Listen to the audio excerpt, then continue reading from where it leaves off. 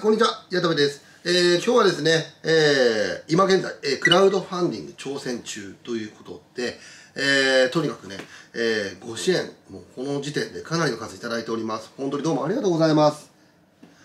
えー、ね、今回初めてのクラウドファンディングなんですが、何のクラウドファンディングかっていうと、えー、日本中のフットサルコートを子供たちがゲームだけできるような場にしたいと。しかも指導者っていう形での、えー、指導は一切なし。えー、とにかくコーチっていう、まあ何でも呼び方いいんだけど、大人はいるけど、基本的に一緒に楽しむ人、また何かあった時に、えー、パッと手差し伸べられるような人ということで、できるだけ子供たち指導です。昔の放課後のサッカー、学校で遊んでたような場を今、フットサルコートという安全な場を使って、えー、提供していくというところがイメージコンセプトですね。えー、なので、今、そのためにはですね、えー、なかなか理解されないと思ってるんですよ。新しい試みですから。そうした時に、えー、何が辛いかというと、フットサルコート代高いんですね。そうすると、もう1ヶ月、もう1ヶ月、もう1ヶ月って言ってる時に、大赤字だと何万円単位で出てくと。それ今、日本中で何箇所もやってると、なかなかなかなか体力的にきついんですよ。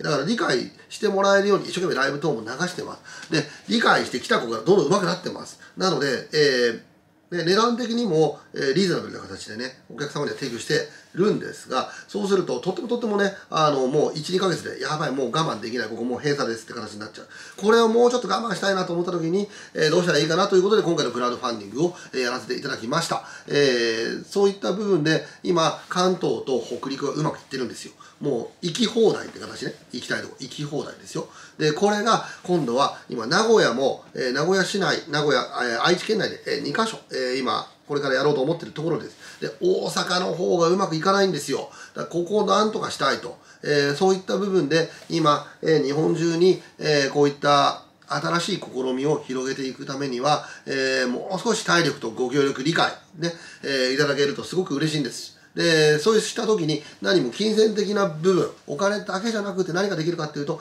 SNS での拡散、えー、話題にしてもらう。こんなバカいるんだよ、こんなわけわかんないことやってるやついるんだよっていう形でも構わないんです。で、こんな面白いことしてるよって言ってくれたら、まあそれはそれで嬉しいです。ね、えー、なので、えー、ぜひね、えー、賑やかしていいんで、ぜひ見てもらいたいんですよ。えー、そうした部分で、えー、まだまだ、えー、今月いっぱい、12月いっぱいはやっていくつもりです。なので、えー、遊びに来てほしいっていうのもあるんですが、えー、そういった部分で賑やかしでも構いませんよと、えー、一つグレード下げた形でのお願いです。えー、ということで、えー、今ね、ご支援いただいている方にも本当に感謝しております。本当に勇気になってます。えー、ね、これからやってくださる方にもね、もちろんちゃんとリターンで形でね、えー、お礼と行きます。でも本当に来ただけで本当に感謝感激なんですよ。えー、ね、こうやって、え、理解してくださってる方がいる。ね、こういうのあったらいいなって共感してくださる方がいるっていうのが実感できるっていうだけで私は嬉しいです。えー、ということで、えー、ね、本当にまだまだ、えー、続きます。